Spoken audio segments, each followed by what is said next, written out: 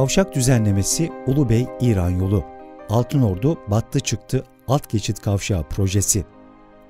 Altınordu battı çıktı alt geçit kavşağı proje alanı Altınordu ilçesi Atatürk Bulvarı güzergahından geçen Karadeniz sahil yolu üzerinde Ulubey Mesudiye Sivas yolu ayrımı kavşağıdır.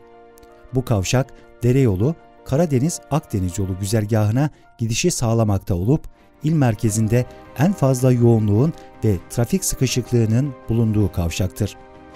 Mevcut durumda söz konusu kavşak, şehir içi, şehirler arası ve ilçe bağlantı yollarının tamamının birleştiği bir kavşak olması sebebiyle Karadeniz sahil yolu güzergahında en fazla trafik sıkışıklığının olduğu kavşak olmaktadır.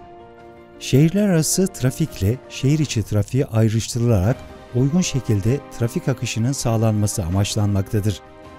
Kavşak proje tasarımı olarak Altınordu ilçesi içerisinden geçen Karadeniz sahil yolu ilgili kavşakta battı çıktı projesiyle duble yol olarak yer altına alınacak, şehir içi trafik ve Ulubey dere yolu Karadeniz Akdeniz yolu istikametine gidecek araçlar yan yolları ve döner kavşakları kullanacak şekilde projelendirilmiştir. Karadeniz sahil yolu güzergahının bağımsız transit yol olarak hizmet vereceği şehir içi, il ve ilçe bağlantı yollarının da döner kavşak kullanılarak trafik geçişlerinin sağlanacağı şekilde planlamalar yapılmıştır. Planlanan proje sayesinde şehir içi trafik rahatlayacak, şehirler arası yolda trafik kesintisiz bir şekilde sağlanmış olacak, daha emniyetli bir şekilde trafik seyri sağlanarak yığılmaların önüne geçilmiş olacaktır.